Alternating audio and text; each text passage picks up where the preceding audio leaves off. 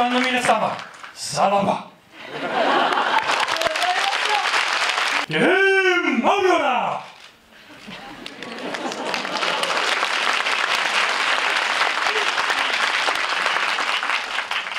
アブデカ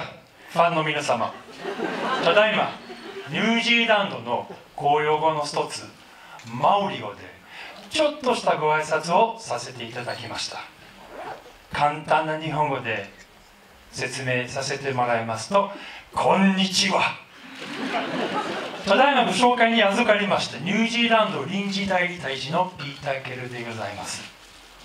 年始よりアブデカがテレビやネットで華々しく取り上げられておりましたが最後のネタばらしになってしまうニュージーランドオークランドでの話がなかなかできず悶々としておりました。今日ですっきりいたします。皆様にもぜひオークランドをご訪問いただきお二人のようにダンディーでセクシーでクールでちょっとだけクレイジーな時のお過ごしいただければと思います。